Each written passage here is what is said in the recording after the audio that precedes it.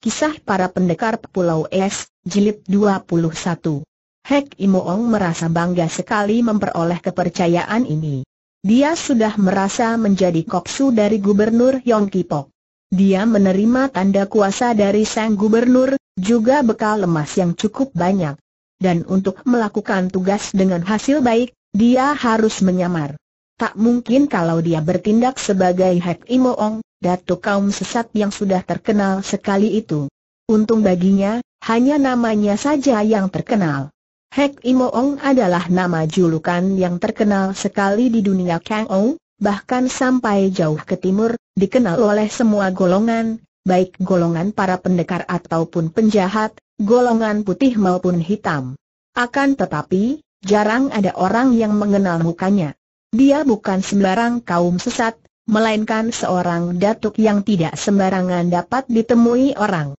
Karena ini, maka dengan menyamar dan menyembunyikan nama julukannya, dia akan dapat melaksanakan tugas itu dengan mudah. Dalam penyamarannya, Hek Imoong tidak meninggalkan warna hitam pakaiannya. Memang sejak dahulu dia suka memakai pakaian serba hitam. Akan tetapi, sekarang pakaiannya yang berwarna hitam itu dibentuk seperti pakaian yang biasa dipergunakan oleh Sins tukang obat. Dan dia pun menyuruh Cheng Liong untuk mengganti sebutan Moong dengan sebutan kakek. Kita akan melakukan perjalanan rahasia, melaksanakan tugas penting sekali. Maka kita harus menyamar.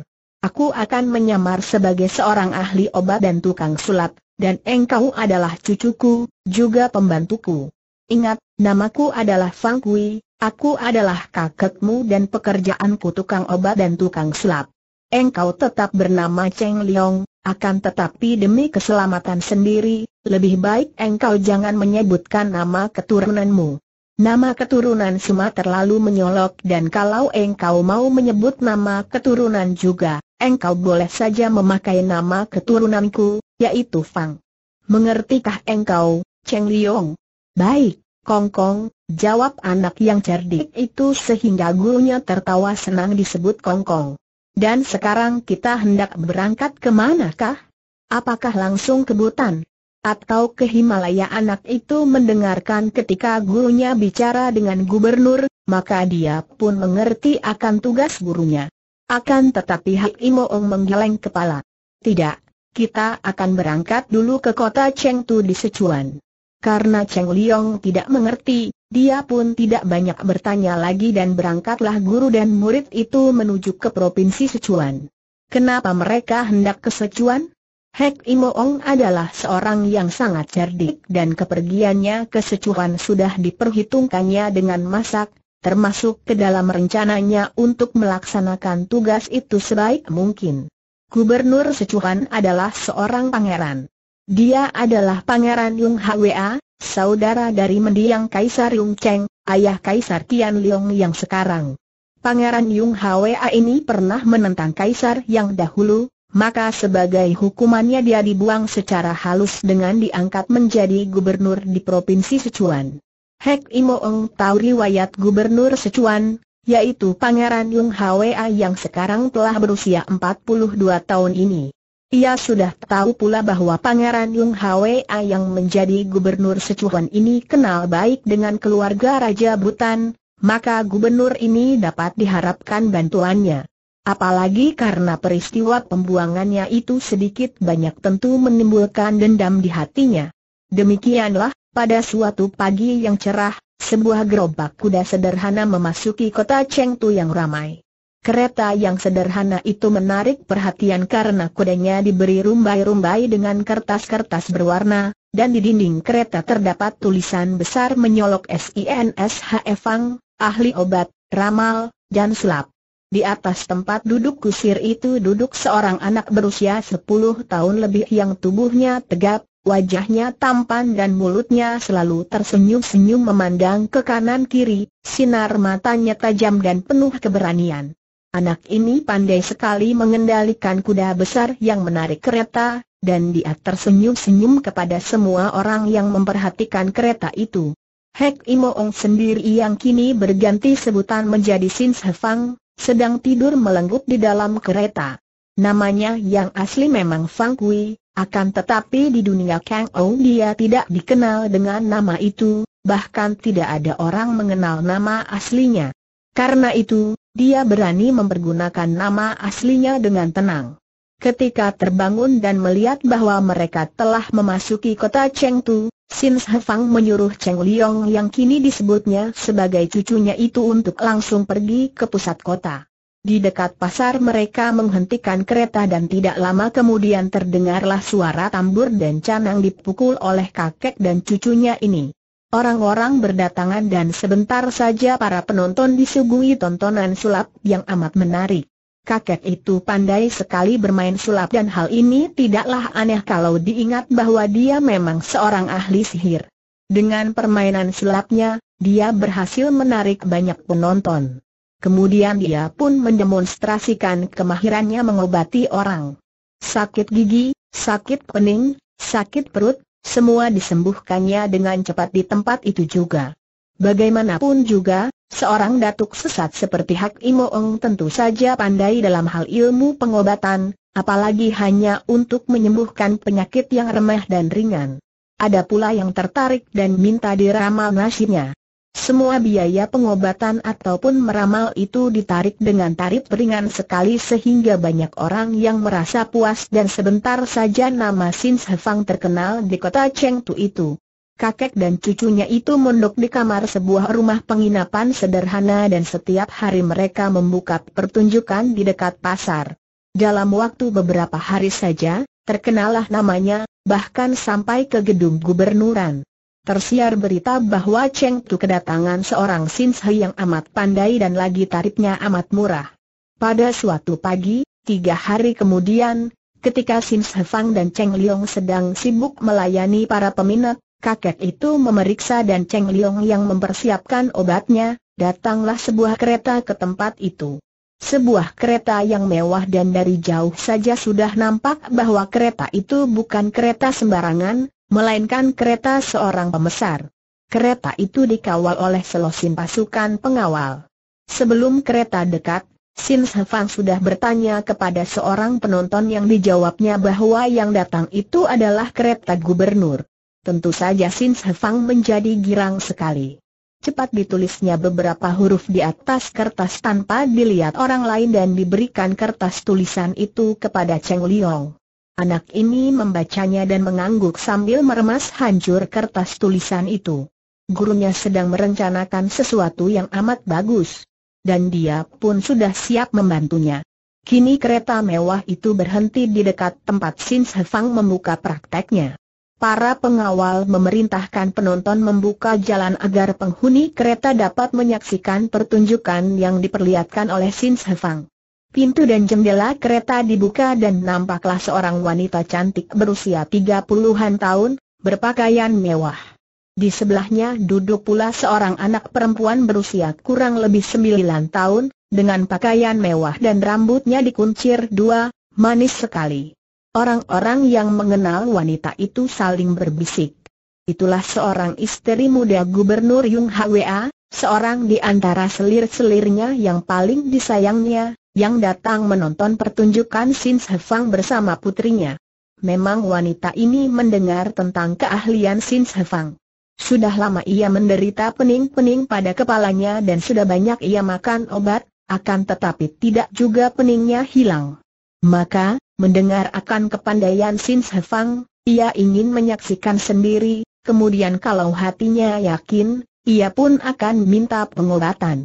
Sin Sefang pura-pura tidak melihat bahwa ada wanita cantik selir gubernur yang memperhatikannya dan ikut menonton dari dalam kereta itu.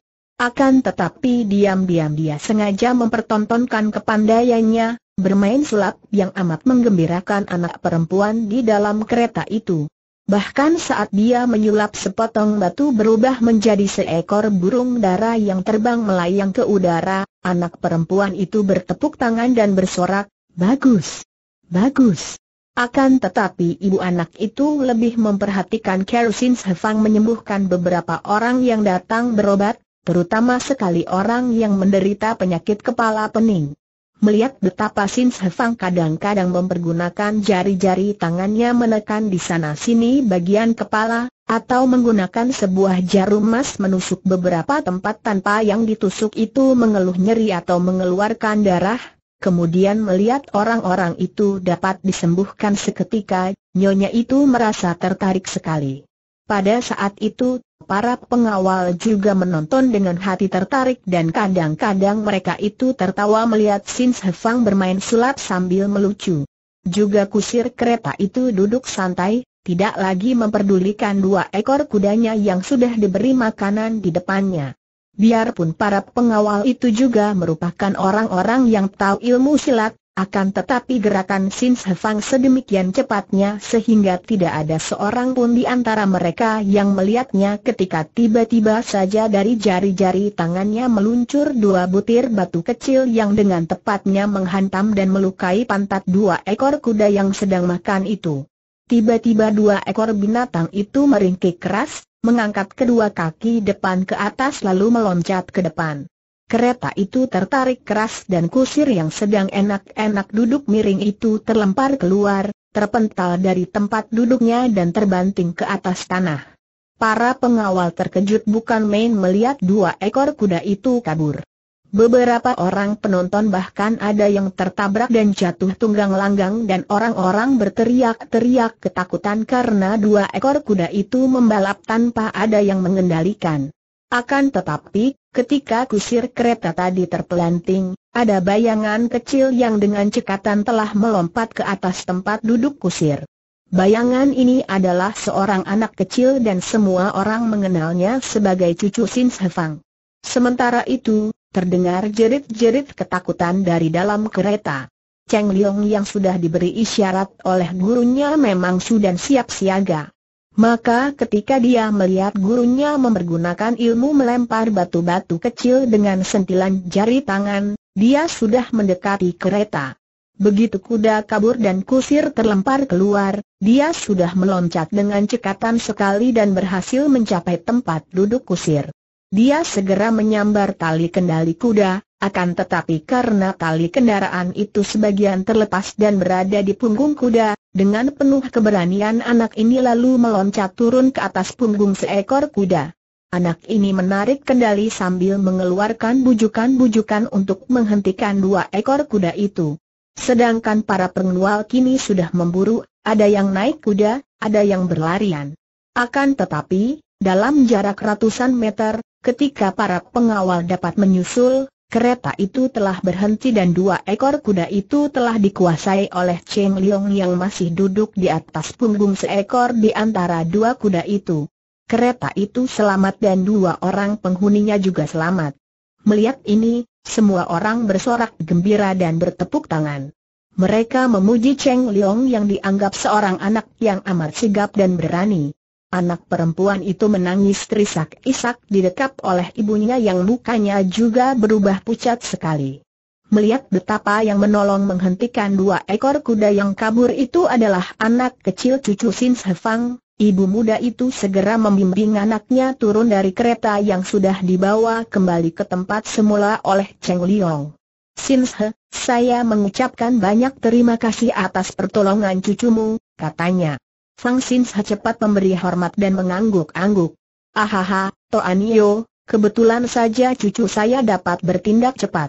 Tian yang telah melindungi Toanio dan Xiao kata Sin Fang dengan sikap seolah-olah dia seorang beribadah yang sudah biasa memalingkan mukanya kepada Tuhan. Engkau anak yang baik sekali kata nyonya muda itu kepada Cheng Liong. Anak ini pun menjura tanpa berkata apa-apa, matanya memandang tajam kepada anak perempuan yang masih nampak ketakutan itu. Biarpun ketakutan dan bekas menangis, anak ini amat cantik dan manis. Ibu, apakah yang menghentikan kuda tadi dia ini anak perempuan itu menuding ke arah Cheng Liong. Benar, Kuilan. Dialah yang telah menyelamatkan kita. Anak baik, siapakah namamu? Cheng Liong menjadi malu juga karena sikap yang amat menghargai itu, apalagi di situ banyak orang yang menyaksikan dan semua orang memandang kepadanya dengan sinar mata kagum dan memuji. Haha, kenapa kau diam saja, Cheng Liong? Maaf, Toanio. Dia anak pemalu sekali. Cucu saya ini namanya Cheng Liong. Kuilan, hayo ucapkan terima kasih kepada Cheng Liong, perintah ibunya yang selalu mendidik puterinya untuk bersikap baik. Kuilan melangkah mendekati Cheng Liong. Wajah yang manis itu tidak begitu pucat lagi dan sepasang mata yang lebar itu memandang penuh perhatian. Cheng Liong, aku kagum padamu dan terima kasih atas pertolonganmu. Namaku Yung Kuilan, dan ayahku adalah gubernur dari kota ini. Cheng Liong hanya mengangguk-angguk saja sambil menatap wajah yang manis itu. Nyonya muda itu lalu menggunakan kesempatan ini untuk mengundang Sin Fang ikut bersamanya ke gedung gubernuran. Kami ingin minta pertolongan Sin Se mengobati suatu penyakit, demikian tambahnya. Sin Fang menyembunyikan kegembiraan hatinya. Inilah yang dinanti-nanti sampai dia mau bersusah payah membuka praktek di pasar itu. Tak pernah disangkanya pintu gubernuran akan sedemikian mudahnya terbuka baginya. Saya merasa terhormat sekali untuk dapat mengobati keluarga Toanio yang sakit, katanya dan dia pun cepat menyuruh cucunya berkemas. Tidak lama kemudian, kereta nyonya itu telah berjalan kembali. Sekali ini bukan hanya diiringkan sepasukan pengawal, akan tetapi juga diiringkan sebuah gerobak kuda yang telah mulai dikenal baik di kota itu. Di sepanjang perjalanan, Orang-orang membicarakan keberanian bocah yang mengendalikan kuda itu. Semua orang tahu bahwa tentu Sinsha itu diundang ke gubernuran untuk mengobati orang sakit dan tentu akan menerima hadiah besar dari gubernur sendiri karena telah menyelamatkan selir dan puterinya dari bahaya. Begitu tiba di gedung gubernuran, Gubernur Yung Hwa yang menerima laporan tentang kereta selirnya yang kabur dan diselamatkan oleh cucu Sin Fang, menjadi terkejut akan tetapi juga girang. Dia lalu minta kepada selirnya untuk memanggil Sinsha itu menghadap. Ketika bertemu dengan kakek yang tinggi besar itu, dan melihat cucunya yang tampan dan gagah, Gubernur Yung Hwa merasa suka sekali. Dia mengucapkan terima kasih dan memuji Cheng Liong. Hamba merasa terhormat sekali dapat memperoleh kesempatan untuk mengobati keluarga Paduka yang sakit. Hamba sudah siap untuk mengobatinya, Sin Fang berkata dengan sikap merendahkan diri. Sin yang sakit adalah aku sendiri, tiba-tiba selir itu berkata sambil tersenyum ramah. Apakah engkau bisa menolongku? Sin Fang menjura. Mudah-mudahan hamba akan dapat menolong. Tidak tahu sakit apakah yang diderita oleh Toanio? Sudah lama sekali kepalaku sering pening, berdenyut-denyut dan mata berkunang-kunang. Sudah beberapa orang tabib dipanggil dan banyak sudah kumakan obat, akan tetapi penyakit itu tidak lenyap, hanya berkurang sedikit saja. Sim Fang mengangguk-angguk. Maaf, hamba harus memeriksa lebih dulu sebelum menentukan penyakit dan obatnya. Gubernur Yung Hwa yang amat mencinta istrinya itu berkata, Mari, silakan masuk ke kamar, Sin Fang. Sim Fang menghaturkan terima kasih, Cheng Liong, engkau menanti saja di sini dan bersikaplah yang baik. Biar Kuilan menemaninya, kata nyonya itu. Dan Kuilan yang memang merasa kagum dan suka kepada Cheng Liong lalu menarik tangan Cheng Liong dan mengajaknya untuk pergi ke taman. Cheng Liong menurut saja walaupun dia merasa sungkan dan juga malu. Melihat sikap anak laki-laki itu, Seng Gubernur menggeleng-geleng kepala. Cucumu itu kelak tentu menjadi orang yang gagah. Sambil mengikuti suami istri itu memasuki kamar, Sin Fang menjawab, Ah, seorang seperti hamba mana mungkin dapat mempunyai seorang cucu yang gagah? Sang gubernur tertawa. Aha, jangan kira aku tidak tahu, Fang Sin Seorang yang kabarnya pandai bermain sulap, dan pandai mengobati seperti engkau ini, tentu seorang Kang Ou yang lihai. Apalagi mendengar betapa cucumu dapat menyelamatkan istri dan anakku, tentu dia pun telah kau gembleng dengan ilmu-ilmu yang tinggi. Diam-diam Sin Fang memuji ketajaman mata gubernur ini. Bagaimanapun juga, gubernur ini dahulunya seorang pangeran, bahkan masih paman dari kaisar yang sekarang, maka tentu banyak tahu tentang dunia Kang Ou. Aku harus berhati-hati, pikir kakek itu. Setelah berada di dalam kamar, dengan disaksikan oleh Gubernur Yung Hwa, Sin Hefang memeriksa denyut nadi lengan selir itu, kemudian memeriksa beberapa bagian kepala dan lehernya. Segera dia mengetahui bahwa penyakit yang diderita oleh nyonya itu tidaklah begitu berat, maka dengan keahliannya pengobatan tusuk jarum, dengan mudah dia dapat menghilangkan penyakit itu. Tentu saja gubernur dan selirnya merasa berterima kasih dan girang sekali. Gubernur Yung Hwa lalu menjamunya. Mereka makan minum berdua saja sambil bercakap-cakap karena Cheng Liong diajak makan sendiri oleh Kuilan yang sekarang telah bersahabat dengannya. Cheng Liong, aku hampir tidak percaya bahwa engkau hanyalah cucu seorang penjual obat, di waktu bermain-main Kuilan berkata. Cheng Liong memandang tajam. Anak ini boleh juga, pikirnya, memiliki kecerdikan. Kenapa engkau berkata demikian, Nona? Sedangkan anak laki-laki putra para pembesar saja biasanya bersikap sombong dan kasar, padahal tidak pandai apa-apa. Akan tetapi engkau ini gagah berani dan tangkas, kulihat pandai dan bukan seperti anak dusun, akan tetapi sikapmu pendiam dan pandai merendahkan diri, ramah dan mengenal aturan. Tidak, engkau bukanlah anak dusun. Engkau pantasnya anak bangsawan atau hartawan besar. Cheng Liong tertawa. Ayah, Nona jangan main-main. Sudah jelaskah keku adalah seorang ahli pengobatan, ahli ramal dan sulap. Dan aku cucunya. Kuilan menarik napas panjang. Sukar dipercaya. Dan di mana rumahmu? Di mana rumah kakekmu itu? Di mana saja, Nona? Dunia ini adalah rumahku, langit atapku, bumi lantaiku. Kalau dikecilkan, gerobak itulah pondok kami. Di mana adanya gerobak kami, di situlah kami tinggal. Kami adalah perantau-perantau yang tidak mempunyai tempat tinggal tetap, Nona, seperti burung-burung di udara, mau hinggap di pohon mana pun bebas. Sepasang mata yang bening itu berseri memandang wajah tampan Cheng Liong. Ih, bicaramu juga seperti orang bersyair. Betapa senangnya hidup seperti burung, bebas melayang ke mana-mana, tidak terhalang sangkar. Aku seperti burung dalam sangkar. Nona adalah putri seorang bangsawan tinggi yang beruntung, mana mungkin bisa dibandingkan dengan aku? Aku suka padamu, Cheng Liong. Engkau tidak seperti anak-anak lain. Selamanya aku tidak akan melupakanmu, tidak akan lupa ketika engkau menghentikan kuda dengan menunggangi kuda yang sedang kabur itu. Ih, masih ngeri kalau aku mengingatnya. Cheng Liong lalu diajak makan, terpisah dari kakeknya yang juga sedang makan minum dengan Gubernur Yung Hwa. Kesempatan ini dipergunakan oleh Sin Hefang untuk berkenalan dan menjajagi hati bangsawan itu. Maka dengan hati-hati dan halus dia pun membawa percakapan menuju ke kota raja dan istana, membicarakan keadaan negara. Engkau banyak melakukan perantauan, Fang Sinse. Bagaimana keadaan di timur dan selatan? Apakah kehidupan rakyat baik dan keamanan pun baik? Gubernur itu bertanya demikian karena dia juga sudah mendengar bahwa terjadi pergerakan dan pergolakan di barat dan utara. Kakek itu mengerutkan alis, bersikap pura-pura sedang keberatan untuk menyatakan pendapatnya. Seng Gubernur melihat ini, maka sambil tersenyum lalu menyambung, harap engkau jangan khawatir, Fang Sinse.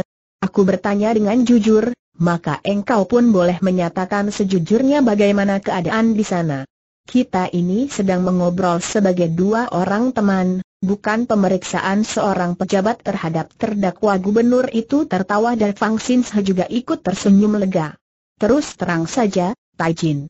Keadaan di daerah-daerah di timur juga tidaklah begitu baik. Banyak rakyat yang hidup kekurangan dan merasa tidak puas, dan di sana-sini terdapat gejala pergerakan menentang pemerintah. Gubernur itu menghela napas. Sudah kuduga demikian. Setiap pemerintahan tidak mungkin dapat memuaskan hati seluruh rakyat. Sudah tentu ada saja pihak yang merasa tidak puas. Ketika mendiang Kaisar Yung Cheng yang memegang kendali pemerintahan, banyak pihak yang menentang, hal itu tidaklah terlalu mengherankan mengingat akan sifat-sifatnya yang keras dan kadang-kadang penuh kelaliman. Akan tetapi, Sekarang kendali pemerintahan dipegang oleh Kaisar Tian Leong yang halus budi dan bijaksana. Bagaimanapun juga, tak mungkin beliau dapat memuaskan hati semua orang. Memang demikian keadaan di dunia ini, tidak ada yang sempurna. Mendengar ucapan ini, diam-diam Sin Fang terkejut. Dia tidak melihat sedikit pun rasa dendam dalam ucapan itu. Bagaimanakah pendapat Paduka tentang pergolakan-pergolakan yang sedang terjadi di mana-mana? Gubernur itu mengerutkan alisnya. Orang yang merasa penasaran tentulah mereka yang merasa dirugikan dan melihat kenyataan betapa bijaksana Kaisar Tian Leong, maka yang merasa dirugikan sehingga penasaran dan memusuhinya tentulah orang-orang yang tidak bijaksana. Mereka yang ambisius dan menginginkan kedudukan yang lebih tinggi. Mereka itu tidak tahu bahwa andai kata kekuasaan tertinggi berada di tangan orang lain, tidak seperti Kaisar Tian Leong, maka keadaan negara tentu menjadi lebih kacau dan sengsara. Sekarang yakinlah Sin Fang bahwa tidak mungkin orang dengan pendirian seperti gubernur ini dapat ditarik menjadi sekutu. Bahkan berbahaya sekali untuk membocorkan rahasianya kepada seorang seperti gubernur ini. Bagaimanapun juga, dia harus dapat menarik keuntungan dalam perjumpaannya dengan gubernur Yung Hwa supaya tidak percuma semua jerih payah yang telah diperhitungkan dan direncanakannya. Bagaimanapun juga, hamba sendiri tidak pernah mau melibatkan diri dalam urusan negara. Hamba adalah seorang rakyat dan hamba paling suka merantau sampai ke daerah yang terpencil. Dapat berhubungan dengan rakyat jelata, dari yang paling tinggi kedudukannya sampai yang paling rendah, melalui pengobatan dan hiburan permainan sulap, hamba sudah merasa cukup puas. Sinse adalah seorang yang bijaksana dan dapat menolong orang-orang lain, Sungguh kehidupan itu dapat mendatangkan kebahagiaan dan panjang usia. Kami mengharap agar engkau dapat lama-lama tinggal di kota ini dan silakan menempati gedung kami dan Sinshe akan kami anggap sebagai tamu terhormat. Sinshe Fang bangkit berdiri dan menjura dengan hormat. Taijin sudah melimpahkan kebaikan kepada hamba, mana hamba berani mengganggu lebih lama lagi? Hamba telah mempunyai rencana, yaitu besok pagi hamba dan cucu hamba akan melanjutkan perjalanan hamba dalam perantauan ini. Gubernur itu nampak kecewa. Ahaha, mengapa begitu tergesa-gesa? Hamba tanggung bahwa Toan Yo sudah sembuh sama sekali dan peningnya tidak akan dapat kambuh kembali. Hamba memang sudah merencanakan untuk pesiar merantau ke Butan, dia menghentikan kata-katanya dan dengan cermat memandang wajah gubernur itu, walaupun nampaknya seperti sambil lalu. Dan dengan girangga melihat betapa wajah itu berseri. Kebutan. Ahaha, apakah Sinse mempunyai keperluan di negara yang jauh itu? Hamba pernah mengenal seorang pertapa yang hamba jumpai di daerah Himalaya dan dia pun seorang ahli pengobatan yang kini kabarnya tinggal di Butan. Selain menemui sahabat itu, juga hamba telah lama sekali mendengar akan kemakmuran dan keindahan negara Butan dan ingin sekali melihatnya. Hanya satu hal yang hamba khawatirkan. Apakah itu, Fang Simshe? Hamba adalah seorang asing di Butan, selain sahabat itu tidak mempunyai kenalan. Sebelum hamba berhasil bertemu dengan sahabat itu, Hamba khawatir kalau-kalau dicurigai dan akan menemui halangan di negara asing itu. Ah, jangan khawatir, Fang Sinse. Aku mengenal baik seorang yang mempunyai pengaruh dan kekuasaan besar di sana dan kalau engkau membawa surat dariku, aku tanggung takkan ada yang mengganggumu di butan sana. Bukan main girangnya hati kakek itu. Terima kasih banyak atas kebaikan hati Taijin. Gubernur itu lalu membuat sehelai surat pernyataan di mana dikatakannya bahwa Sin Fang adalah seorang sahabat baiknya dan para pejabat setempat diminta untuk membantunya dalam segala hal. Surat itu ditanda tanganinya dan dibubungi cap kebesarannya. Setelah berhasil memperoleh surat yang amat berguna baginya ini, dan diberi bekal pula sekantung emas, pada keesokan harinya, Pagi-pagi sekali berangkatlah Sin Fang dan Cheng Liong bersama gerobak kuda mereka. Kuilan sendiri mengantar keberangkatan itu sampai di pekarangan luar gedung gubernuran dan anak perempuan itu menangis ketika melihat Cheng Liong menggerakkan kuda memberangkatkan kereta dan melambaikan tangan kepadanya.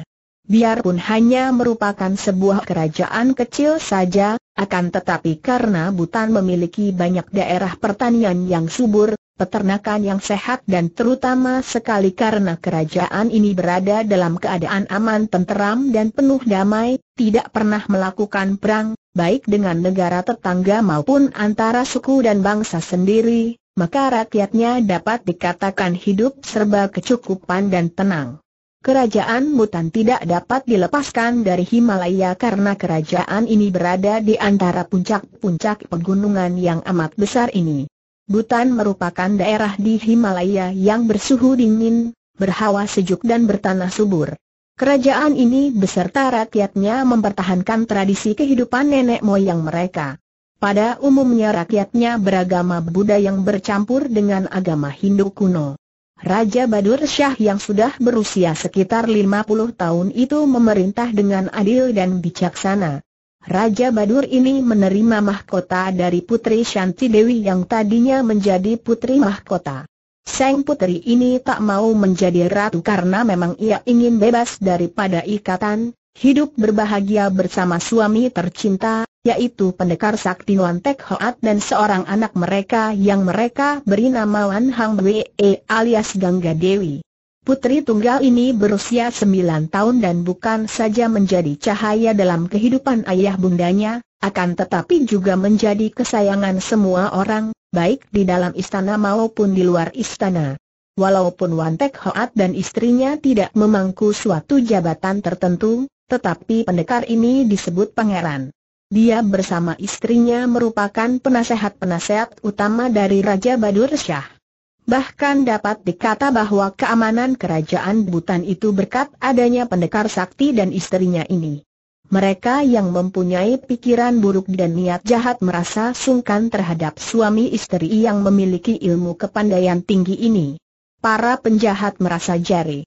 Pendeknya, Wantek Hoat dan istrinya menjadi tokoh-tokoh penting di Butan, yang ditakuti lawan dan disegani kawan. Tidak mungkin ada yang sempurna di dunia ini. Setiap ada yang menganggapnya baik, tentu akan bertemu dengan pihak lain yang menganggapnya tidak baik. Ini tergantung daripada si penilai yang mendasarkan pandangannya atas perhitungan untung rugi. Baik buruk hanyalah penilaian banyak pihak yang pada dasarnya selalu ditunggangi oleh perhitungan untung rugi inilah. Kalau kerajaan Butan dipandang baik oleh satu pihak, tentu saja karena dianggap menguntungkan bagi pihak itu, tentu ada pula pihak lain yang menganggapnya tidak baik sebab merasa dirugikan. Mereka yang diam-diam menganggapnya tidak baik, tentu saja tidak berani berterang karena terutama sekali adanya wibawa dari Wantek Hoat dan istrinya, adalah mereka yang merasa tidak puas. Sudah jamak di satu pemerintahan negara mana pun juga, di antara orang-orang yang merasa diri sendiri besar atau dianggap sebagai orang-orang penting, yakni tokoh-tokoh pemerintahan, ada yang merasa tidak puas dengan pemerintahan yang berkuasa pada saat itu. Ketidakpuasan ini mungkin saja karena mereka merasa tidak memperoleh kedudukan yang sesuai dengan harapan mereka, atau karena tidak cocok dengan politik pemerintahan, akan tetapi sebagian besar yang merasa tidak suka adalah mereka yang merasa dirugikan, baik lahir maupun batin. Tidak mungkin ada suatu pemerintahan yang dapat menyenangkan atau memuaskan semua pihak yang masing-masing mempunyai keinginan sendiri-sendiri dan kadang-kadang keinginan-keinginan itu saling bertentangan. Demikian pula dengan keadaan di Butan. Di antara pejabat tinggi atau rendah yang merasa puas dan menjadi pegawai-pegawai yang setia dan jujur, tentu saja terdapat pula pembesar-pembesar yang merasa tidak puas dan diam-diam dalam hati mereka menentang kebijaksanaan yang diambil oleh Raja Butan. Mereka ini terutama sekali menentang kebijaksanaan pemerintah yang lebih condong bersahabat dengan Kaisar Kerajaan Cheng dan yang menentang gerakan Nepal. Mereka akan merasa lebih senang kalau Butan bersahabat dengan Nepal, yang selain menjadi negara tetangga dekat, juga memiliki kebudayaan dan agama yang masih serumpun. Akan tetapi karena di Butan terdapat Wan Tek Hoat, seorang bangsawan yang telah banyak berjasa terhadap Butan, dan yang menjadi penasehat nomor satu dari Raja, tentu saja mereka yang pro-Nepal dan menentang kerajaan Cheng itu tidak berani mengeluarkan isi hati mereka secara berterang. Pada suatu siang yang cukup terang, suatu keadaan yang amat menyenangkan bagi daerah Butan yang dingin itu, Nampak seorang anak perempuan yang cantik dan lincah berloncatan di antara semak-semak belukar dalam sebuah hutan liar di lereng bukit. Anak perempuan ini usianya sembilan tahun, wajahnya bulat telur dengan dagu meruncing dan kedua tulang pipinya menonjol berwarna merah segar. Mulutnya kecil mungil dengan bibir yang penuh dan merah, sepasang matanya bersinar-sinar, lebar dan terang. Dua kuncirnya yang gemuk dan panjang itu ikut melambai-lambai ketika ia berloncatan. Anak ini sungguh cantik, gerakannya amat lincah, wajahnya selalu berseri dan matanya membayangkan kejenakaan dan kegembiraan. Tangan kirinya memegang busur kecil, tangan kanannya memegang anak panah, sedangkan di punggungnya masih terdapat beberapa batang anak panah cadangan. Tidaklah terlalu mengherankan kalau anak perempuan berusia 9 tahun ini sedemikian lincah dan sigap gerakannya karena ia adalah Gengga Dewi atau Wan Hang Bue, putri tunggal dari pendekar sakti Wan Tek Hoat dan putri Shanti Dewi. Semenjak kecil, baru saja dapat berjalan, ayahnya telah menggemblengnya sehingga meski usianya baru 9 tahun, tetapi Hang Bue telah memiliki tubuh yang sehat dan kuat, gerakan yang gesit dan nyali yang besar. Apalagi anak ini memang gemar berburu, pekerjaan yang umum di daerah Butan. Sudah sering kali anak ini mengikuti rombongan para pemburu untuk berburu rusa dan binatang-binatang hutan. Ia sudah pandai mempergunakan anak panahnya, juga pandai menggunakan pedang kecil yang tergantung di pinggang itu. Hei, i, Chuan Puteri, perlahan dulu terdengar suara seorang wanita menegur dari belakang. Di dalam hutan mana ada putri-putri segala macam Hang Bwe mengomel tanpa menghentikan kedua kakinya yang berloncatan dengan sigap di antara semak-semak belukar. Nona, Nona Hang Bwe, kalau Nona berlari-larian seperti itu, tentu rusa-rusa kabur dan burung-burung terbang menjauh teriak suara wanita kedua. Mendengar ini, Hang Bwe menghentikan larinya, kemudian menoleh sambil tersenyum melihat dua orang wanita cantik yang berpakaian ringkas seperti para pemburu berlari-lari mengejarnya. Dua orang wanita itu adalah para pengawalnya karena pada siang hari ini Hang Bwe hendak berburu sendiri, hanya ditemani dua orang pengawal itu. Tentu saja kedua orang wanita itu bukan wanita sembarangan, melainkan pengawal-pengawal yang memiliki kepandaian silat cukup tinggi. Sebagai putri tunggal suami istri yang berkedudukan tinggi, atau lebih tepat memiliki wibawa dan pengaruh yang besar sekali di istana, dan beribu seorang putri bekas putri mahkota, watak Hang Bue sungguh aneh. Ia tidak manja atau besar kepala, bahkan kalau berada di luar istana, ia ingin bebas dari segala macam peraturan yang mengikatnya, ingin hidup seperti anak-anak lainnya dan karena itulah, Tadi ia menegur seorang pengawalnya yang menyebut Tuan Putri. Ia lebih suka disebut Nona begitu saja sehingga tidak semua orang tahu bahwa ia seorang putri dari istana. Sungguh sialan benar kita hari ini, anak itu mengomel. Sampai begini siang dan sudah berjalan sangat jauh, belum juga bertemu dengan seekor pun rusa atau binatang lain. Nona, sebaiknya kita segera kembali ke kota. Kita telah hampir sampai di perbatasan seorang pengawal yang alisnya tebal memperingatkan. Tidak, kita belum memperoleh seekor pun binatang buruan, bagaimana bisa kembali? Aku akan malu kalau pulang tidak membawa hasil, bantah Hang Wei. Itu mudah diatur, Nona. Kita bisa singgah di rumah pemburu istana, membeli dua ekor rusa gemuk dan Tak tahu malu Hang Bue memotong ucapan pengawal yang hidungnya mancung itu. Pemburu macam apa itu? Curang dan rendah, tidak memperoleh buruan lalu membeli di pasar, mengakui binatang belian itu sebagai hasil buruhan. Huh, tidak saja, ya. Aku mau mencari terus ke bukit di depan itu. Kelihatan rimbun hutannya. Ih, jangan ke sana seru pengawal beralis tebal. Kenapa? Bukit itu tidak termasuk wilayah kita dan pula, ada kabar bahwa akhir-akhir ini ada beruang-beruang hitam yang ganas berkeliaran di sana. Aku tidak takut. Tapi, tapi beruang hitam itu bisa ganas sekali dan amat berbahaya. Hang Dwe memandang kepada dua orang pengawalnya sambil bertolak pinggang, sepasang alisnya dikerutkan. Hem, pengawal-pengawal macam apa yang sekarang ini menemaniku? Kalau kalian takut, pulanglah dan aku akan pergi sendiri. Aku tidak akan pulang sebelum memanggul binatang hasil buruanku dan aku akan bangga sekali kalau dapat menyeret pulang bangkai seekor beruang yang menjadi korban anak panah atau pedangku. Setelah berkata demikian, anak itu membalikan tubuh dan melanjutkan perjalanannya. Kemarahannya telah hilang dan ia berlari-lari sambil bersenandung gembira. Dua orang pengawal itu saling pandang, lalu mengangkat pundak dan keduanya kemudian cepat mengikuti anak yang berada di bawah perlindungan mereka. Ketika mereka tiba di kaki bukit depan itu, tiba-tiba Hang Bue memberi isyarat ke belakang. Dua orang pengawal itu memandang ke depan dan merasa girang sekali melihat bahwa tidak jauh dari situ terdapat sekumpulan rusa sedang makan rumput. Bagus, pikir mereka, kalau nona kecil itu sudah berhasil merobohkan seekor rusa, tentu tidak perlu lagi mereka mendatangi bukit yang berbahaya di depan itu. Mereka pun cepat mempersiapkan busur dan anak panah. Angin bertiup ke arah depan, maka mereka dapat berindap-indap menghampiri rusa-rusa itu dengan aman. Dua orang pengawal itu agaknya sudah mengenal baik watak Hang Wei. Jika mereka mendahului menggunakan anak panah merobohkan rusa, tentu anak itu akan marah maka mereka pun menanti sampai anak itu melepas anak panah.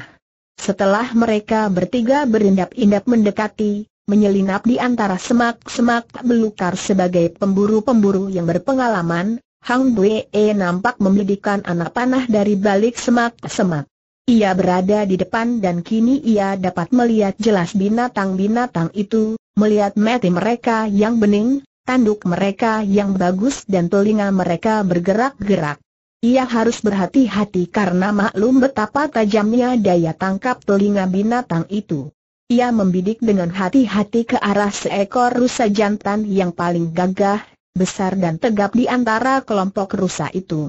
Akan tetapi, tiba-tiba rusa itu mengeluarkan suara aneh, lalu menghampiri seekor rusa betina, mencium-cium dengan moncongnya seperti orang mencumbu.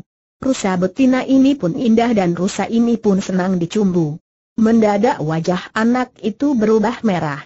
Ia tahu apa artinya ketika rusa jantan itu mengangkat tubuh depannya di belakang rusa betina. Rasa jengah membuat Hang Wei tiba-tiba menjadi marah. Ia tidak memperdulikan keadaan dua ekor rusa itu dan membidikan anak panahnya ke arah leher rusa jantan yang nampak menjulang tinggi. Wuut, singget, cep, Rusa jantan mengeluarkan pekik yang nyaring dan panjang, tubuhnya meloncat turun dan dalam sekejap mata saja, semua rusa terkejut dan berlompatan melarikan diri dari tempat itu. Pekik rusa jantan yang agaknya menjadi pemimpin gerombolan ini tentu merupakan pekik peringatan bagi mereka. Rusa betina yang dicumbu tadi pun sudah menghilang. Rusa jantan yang terkena anak panah di lehernya itu terhuyung, akan tetapi segera meloncat dan melarikan diri naik ke bukit. Sejenak dua orang pengawal wanita itu tertegun. Mereka terkejut dan khawatir sekali ketika melihat kenyataan bahwa nona mereka telah menyerang rusa jantan yang sedang bermain cinta dengan rusa betina. Nona mereka ternyata telah melakukan dua macam kesalahan.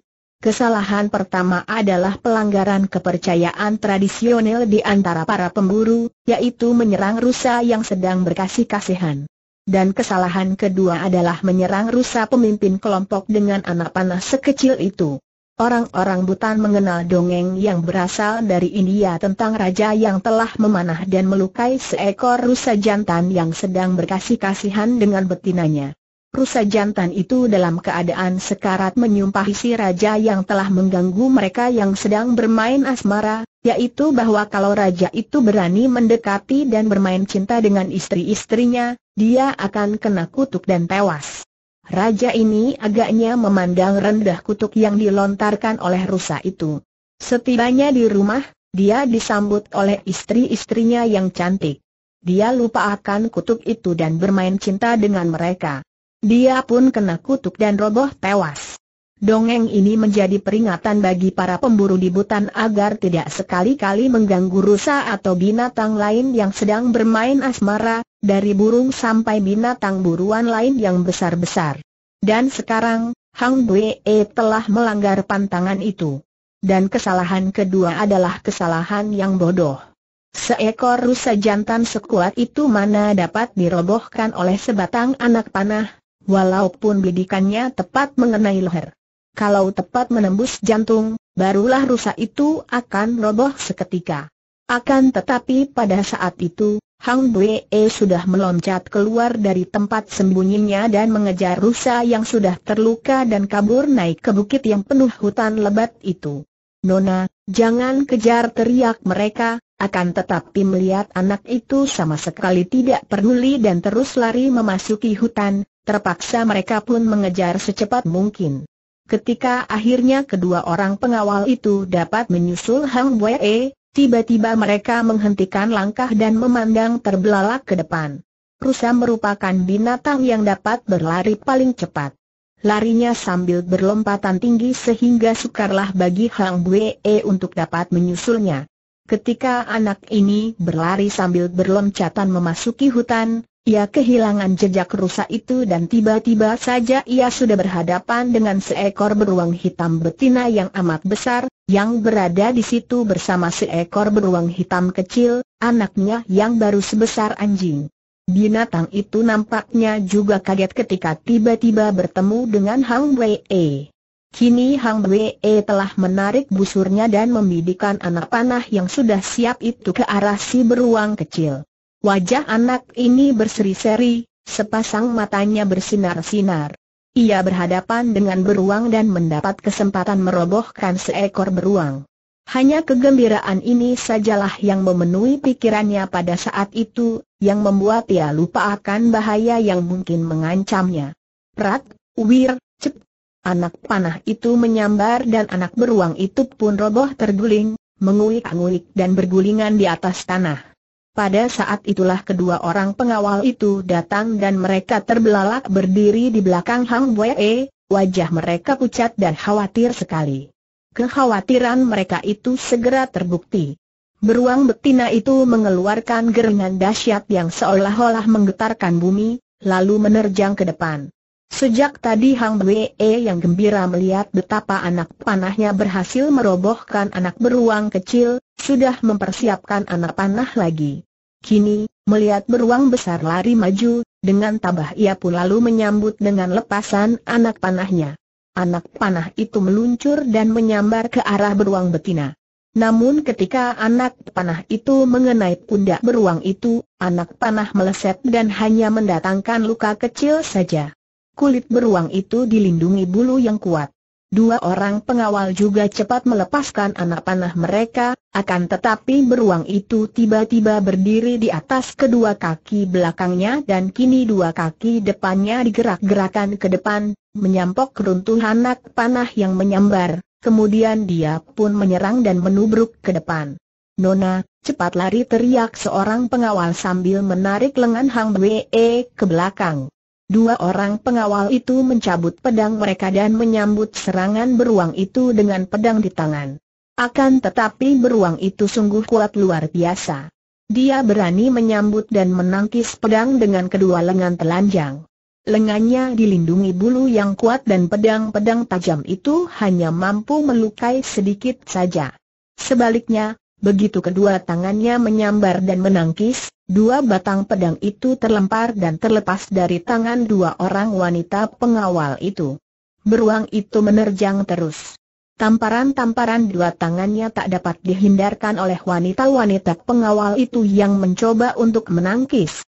Akan tetapi, begitu lengan mereka bertemu dengan tangan bercakar itu, terdengar bunyi tulang patah dan tubuh mereka terbanting keras ke kanan kiri, membuat mereka tidak mampu bangkit kembali.